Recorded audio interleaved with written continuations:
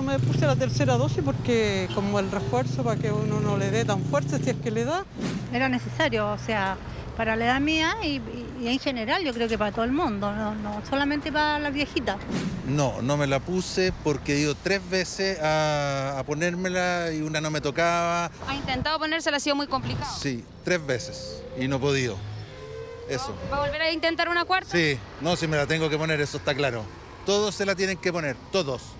El proceso de vacunación avanza, pero el fantasma de una nueva alza de los contagios y posterior colapso en el sistema de salud comienza a aparecer nuevamente.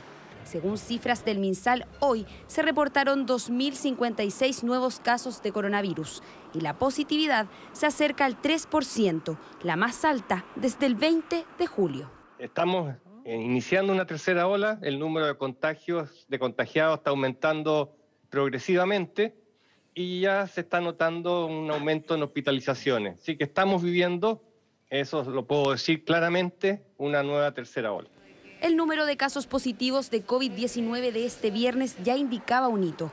La cifra por sobre los 2.000 representaba un aumento del 75% de contagios en dos semanas. Paralelo a eso, aún hay más de un millón de personas que no reciben ninguna dosis de la vacuna en Chile. Yo no diría que estamos en este momento partiendo con una tercera ola porque han ido aumentando los casos, pero no los fallecimientos, ni de manera relevante la ocupación de camas críticas, pero eso podría cambiar.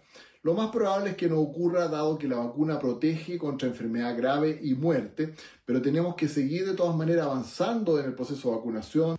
Ingresando a minsal.cl puede dar clic en este banner amarillo y encontrar los calendarios de vacunación. Una opción que revisa el gobierno es aumentar las restricciones para quienes no cumplan con las dosis.